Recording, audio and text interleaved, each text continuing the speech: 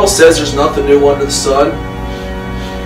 They were sacrificing babies to Moloch, having perverted, uh, you know what parties where people forgot who they was married to to honor Baal, so they could produce little bastard children to murder on the altar of Moloch. You think this is anything new? Can you imagine these poor Old Testament saints had to look at all this filth and wickedness without the precious hope in Jesus Christ that they didn't even know? They, I can't even imagine. I don't. I don't even want to park it right. Hey, I said enough. I don't even want to park it right there and preach a while because it's so straight out of hell. It's just like the Democrats, just like the baby killing, just like the drag queen story hour, just like uh, Chrislam, just like the Vatican. It's straight out of hell. Hey, Isaiah prophesied the virgin birth at the cross, the sinless life of Christ, and the resurrection. And praise God, he prophesied he's coming back. Hallelujah. Amen. Moses testified of a great prophet to come. God told David that, that his kingdom was going to last forever. Ooh, what does that even mean? Is that is that that is that that those Christ deniers sitting over there in Jerusalem right now? No. Hallelujah! Jesus Christ is coming back to rule with a rod of iron. He's going to take down the star of Remphan. He's going to take it down, and he's going to tell Satan to take it to hell with him. And he's going to uh, uh, lift up a new ensign, like Isaiah talks about. The cross, at the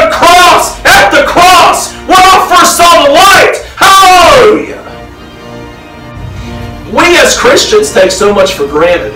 hey, I'm going to drink a cup of coffee for a minute. Because I just got done. I've been trying to take the drunks to church. I'm losing my voice already. Hey, Rubio.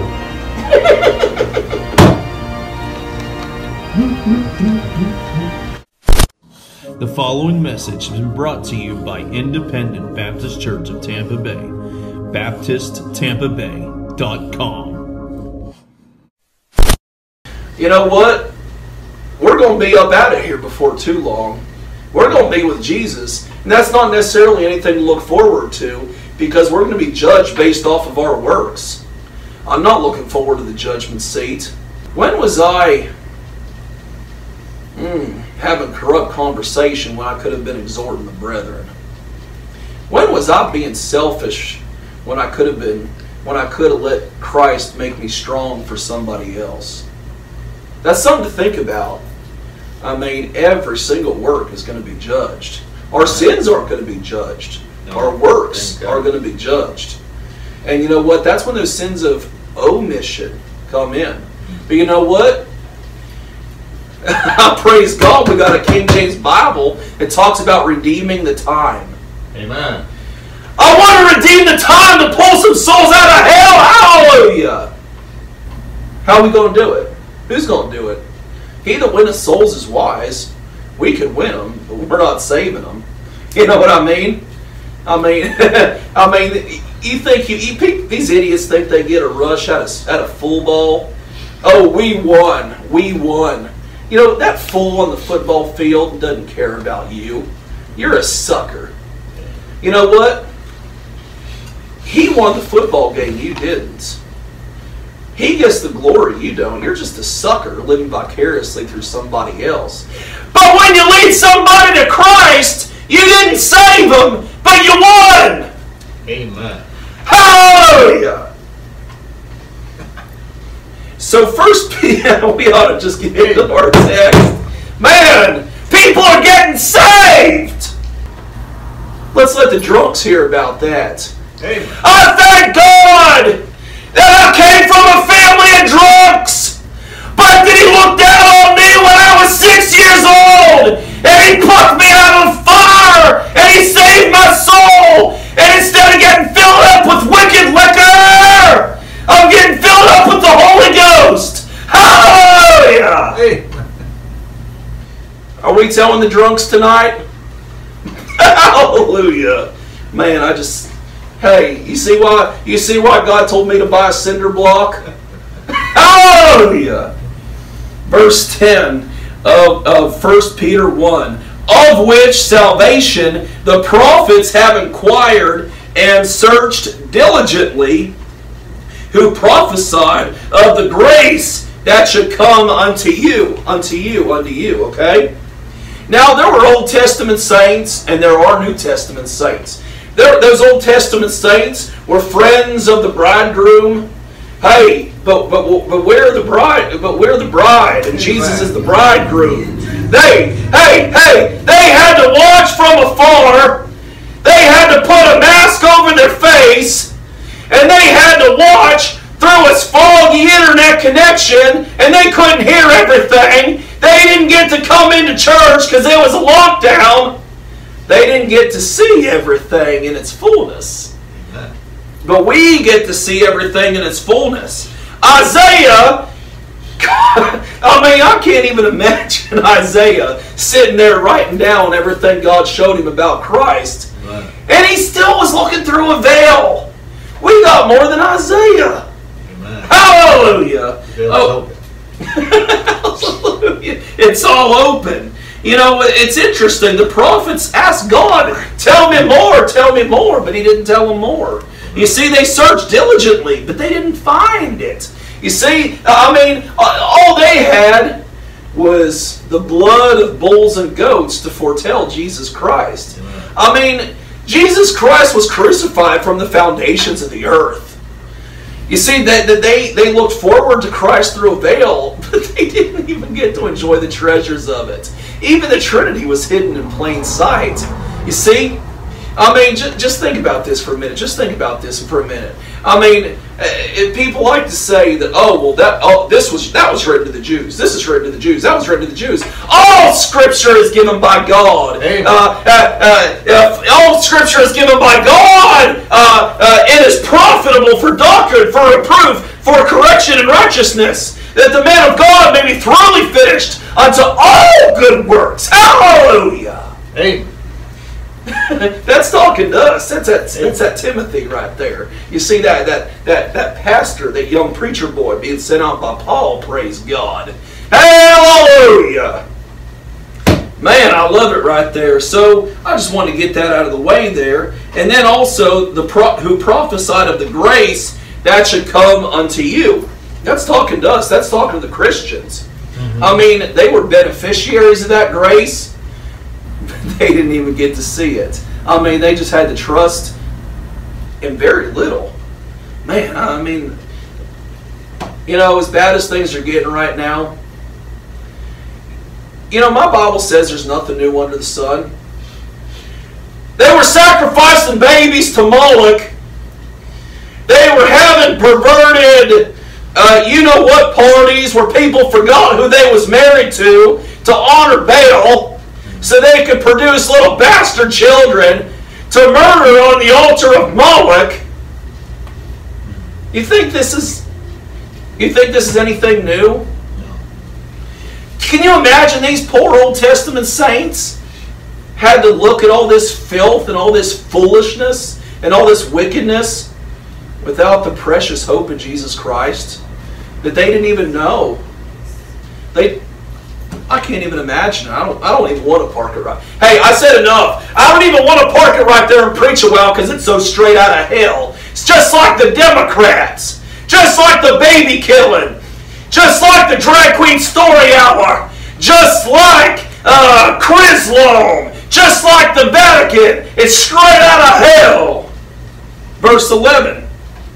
Searching what or what manner of time the Spirit of Christ which was in them did signify when it testified beforehand the sufferings of Christ and the glory that should follow. They searched, they couldn't find it.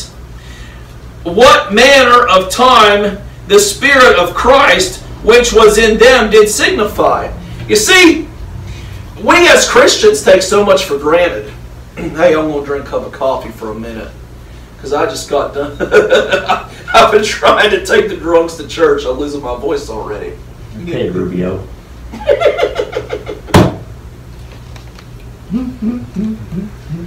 hey, so I'm going to tell you something right now.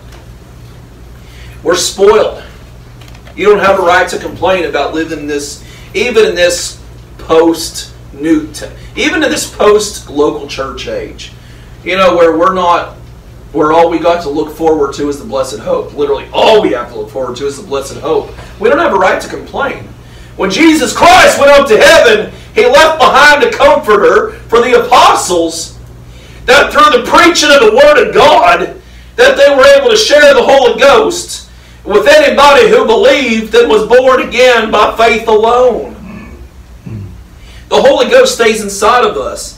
Uh, in the Old Testament, whenever the, the Holy Ghost came on somebody, the Holy Ghost would come and go, come and go. I mean, the Holy Ghost would come on David, left David. Come on David, left David. They come on the prophets and leave the prophets. They come on Samson, they left Samson. They came on Samson again just long enough uh, to tear down the, uh, what was that tribe he killed again? They were all straight out of hell, whatever. The Midianites. Oh, Midian. So he killed the Midianites. You know, the Holy Ghost came on him just long enough for him to die with all the Midianites.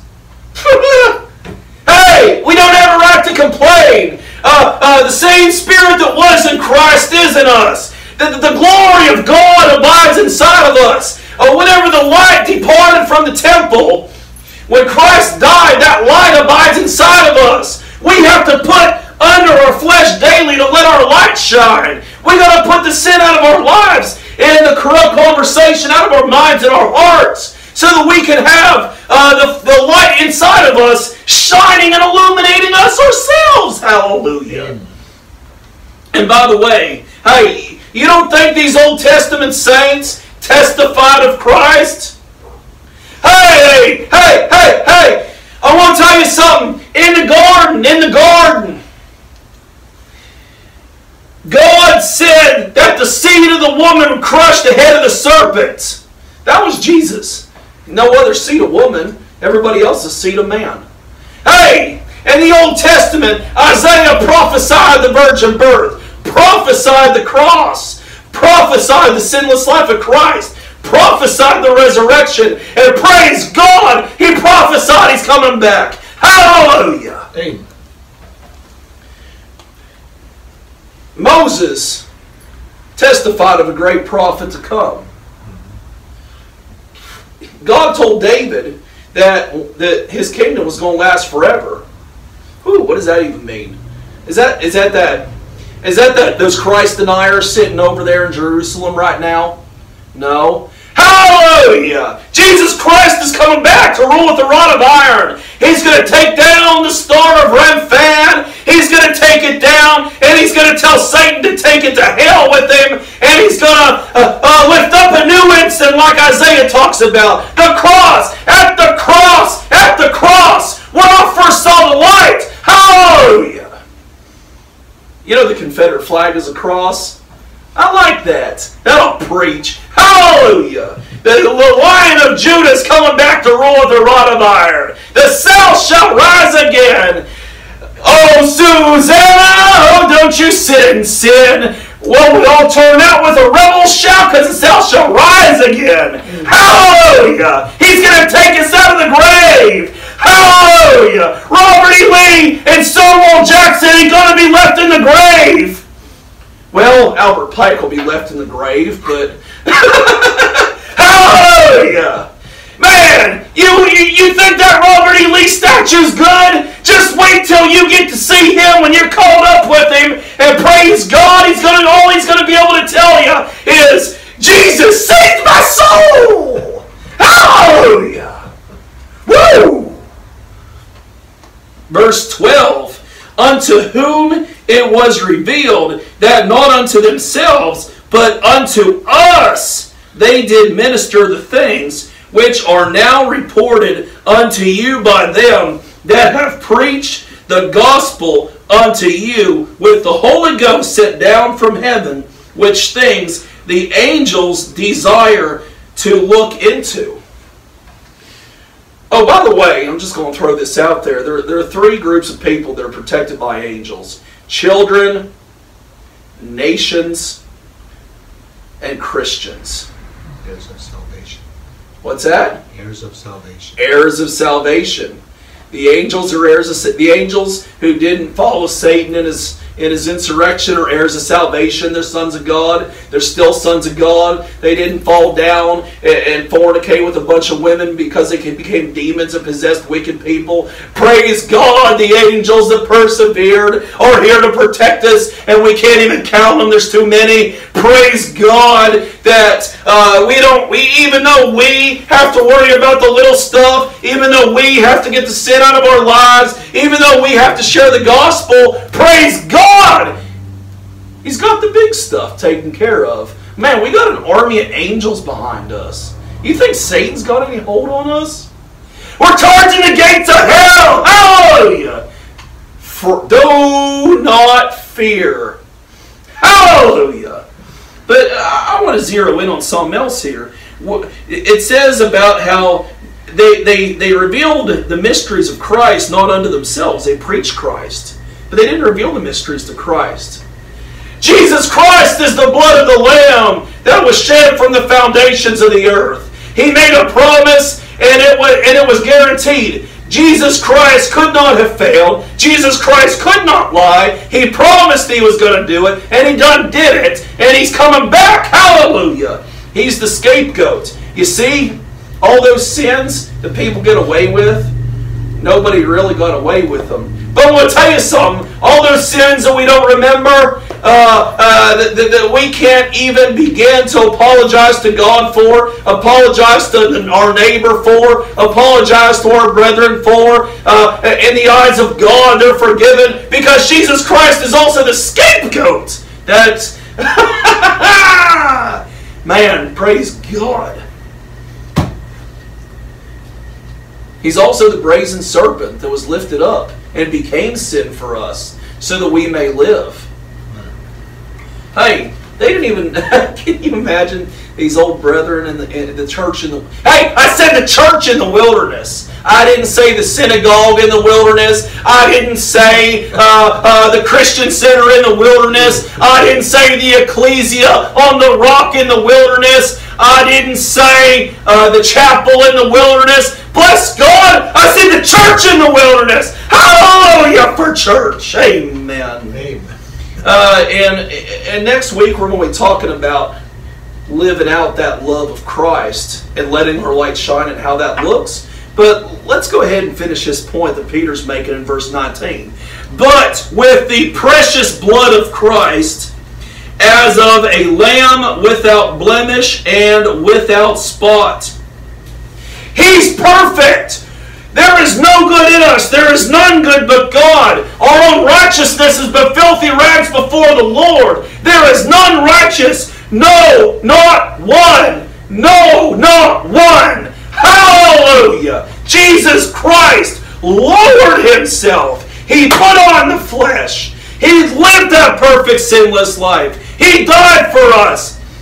By his red blood, we are cast white as snow. Hallelujah. Aren't you glad you're saved today? Amen. Hallelujah. Hallelujah. Who verily was foreordained before the foundation of the world, but was manifest in these last times for you. And another word for times is years. You know, hey, in these last few years, God revealed that Jesus Christ, who was foreordained, was going to die for you. It, was testified from the foundations of the earth. It was, it was set in heaven before it ever happened. The precious blood of Christ. He was forward. For God so loved the world that he gave his only begotten Son, that whosoever believeth in him should not perish, but have everlasting life. Hey, I, I, sometimes you get so puffed up in yourself and you get so tied up in your theology and everything, you, you totally forget how to talk to sinners. You know that? Praise God for Brother Tony at Amazing Grace. You know, he was he was showing me this, and he was showing me his soul winning presentation, and he asked me who who's whosoever, and I got confused. I said whosoever, and he's like, no, no, no. Who, who is whosoever? I know what whosoever means. It's so natural to me, I can't even explain it. I couldn't answer. He's like, that means anybody. Hey, don't you praise God that He died for any that, that, that anybody, whosoever sinner like us? Amen. Amen, amen, hallelujah. Whosoever. What's that? Whosoever. Whosoever, praise God. Man, I, I God help us if we ever get over what He done for us at the cross. God help us if we ever lose our zeal for souls. You know the greatest thing, the most joyous event that you can ever go through is just seeing a new baby being born into the family, holding the newborn baby, all that joy. And, even though Mama had to go through something horrible, hey, I mean, what difference did it make to us? She screams all the time anyway. We didn't know any difference. But praise God for a newborn baby. I mean, hey, I mean, a preacher's the same way. I mean, a preacher screams all the time anyway, too. you know, I'm not trying to be self-righteous about any of this. But I mean, uh, praise God for the newborn babes in Christ. We, we, we're not supposed uh, uh, to be impatient and expect too much out of the newborn babes. They're newborn babes. Hallelujah. We love the chance to teach them the doctrines, to guide them in the spiritual truths, to be able to teach them the hard truths that we learned the hard way so they don't have to do it. Hallelujah for newborn babes. Hallelujah for souls getting saved. Verse 21 Who by him do believe in God that raised him up from the dead and gave him glory, Amen. that your faith and hope might be in God. Who by him do believe in God that raised him up from the dead and gave him glory. Oh man, I just had to repeat that over again. Man, the Holy Ghost came eh, eh, eh, just as He came in at the baptism of John the Baptist. That light, the glory of God, that's the, the glory of God is the light of God. That's the Holy Ghost. He illuminated Christ to get up out of the grave. Jesus Christ got up out of the grave. The tomb is empty. Amen. We don't. I'm going to tell you something. I could shout the glory all day, even if I just knew I wasn't going to hell. But we're going to heaven. Hallelujah. His tomb is empty. Uh, the rapture is just as much gospel as, uh, as is the, the, the tomb is empty. Praise God. Hey, that's 1 Corinthians 15. You can lock that, lump that, bump that, jump that, or take that across the street and dump that. But if you do take it across the street and dump that, you are got to get right with God because you are rejecting the gospel. Amen right there. Seeing ye have purified your souls in obeying the truth through the Spirit unto unfeigned love of the brethren, see that ye love one another with a pure heart fervently. You know, there are two. The law can be summed up in two commandments: love your neighbor as yourself, and I'm sorry, I'm, I'm paraphrasing this. Love Christ above everything. You can't love your neighbor right if you don't love Christ above everything. And you, you love your neighbor. Love your neighbor goes right along with loving the brethren. You know why? Who's your neighbor? Your neighbor is the person, uh, uh, even if you're a Samaritan and it's a Jew that hates you, your neighbor is that Jew in the ditch who's been, who's been abandoned by all the other Jews. Your neighbor is the Samaritan that, that helps you out even though you're a Jew and done been abandoned by all the other Jews. We're supposed to help the downtrodden. Jesus Christ came not for the healthy, but for those who are sick, the great physician. He came not to draw the righteous, but to draw sinners to repentance. Hallelujah! You see, we're supposed to go out. We just we don't have to tell these sinners that they're sinners. Hey, hey, I want to tell you something. You don't need to get drunk and wash away your sorrows in the, uh, in the bottle with wicked liquor. Praise God, you got a Savior who will wipe away your tears. You don't have to get high on wicked marijuana. Praise God, you got a perfect Savior who's going to take you high as heaven. Praise God, He's coming back.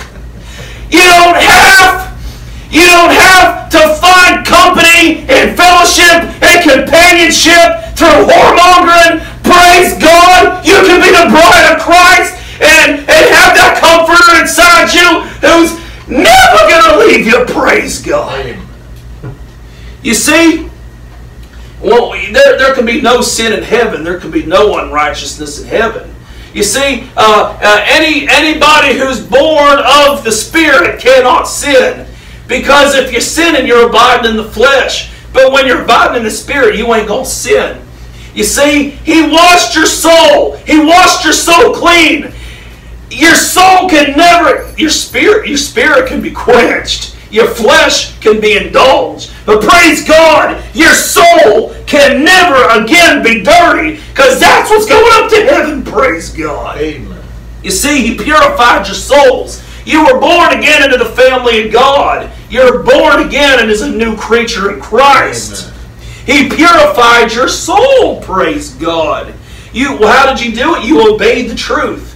You believed that Jesus Christ was born of a virgin according to the scriptures. He lived that perfect sinless life according to the scriptures. He died a criminal's death as, an, as a perfect innocent man to pay our criminal's debt of sin and hell. He rose again on the third day to defeat death for us. He went to heaven uh, to prepare a place for us according to the scriptures. And he's coming back to rule with the rod of iron, and we're coming back with him to rule with him according to our works, according to the scriptures. Man, that's good right there. That's good. Uh, thank you, Brother Peter. That's good preaching. I thank you for that. See that ye love one another with a pure heart fervently. You know what? The heart is wicked. Your heart will deceive you. You have to speak the truth before you can speak the truth in love. If you love somebody who's lost, you got to tell them that they're going to hell and that you love them so much that you've got to offend them to, so they can get saved. Because faith come, faith cometh by hearing, and hearing by the word of God. As it goes on, we'll talk about that next week. Because oh wait, being born again, not of corruptible seed, NIV. Hey, help me, help me. Being born again, not of corruptible seed, NIV, ESV, NLT, MEV, NKJV, the message, Douay-Rheims, Kenneth Copeland, Line Signs and Wonders, straight out of hell, but of incorruptible seed. The King James Bible is inspired, it's infallible, it's indestructible, it's preserved, it's perfect. We're born again, not of corruptible seed, but of incorruptible, by the Word of God, which liveth and abideth forever. Hey, you didn't think God didn't know that the so called originals were going to pass away? You didn't think God didn't know that the manuscript evidence that the King James translators used to give us a perfect Bible by the providential inspiration of God would be destroyed in the London fires of 1868, and that all we'd have is the King James Bible? You think God didn't know that from the beginning? You're crippled too high for crutches. Settled in heaven. His word is settled in heaven. Amen. Hallelujah. His word is settled in heaven. And by the way, about hmm. that, you know, John MacArthur says that these these modern Alexandrian, straight out of hell Catholic manuscripts and these little fragments, pieces of paper that nobody knows what's on them, but they but they make something up. Like they draw a little piece of paper what they think it should say on the rest of the page. John MacArthur, straight out of hell, calls those an embarrassment of riches. Hey, John MacArthur, my riches are in Christ, and you are an embarrassment because you are attacking book that God used to save our souls. Hallelujah!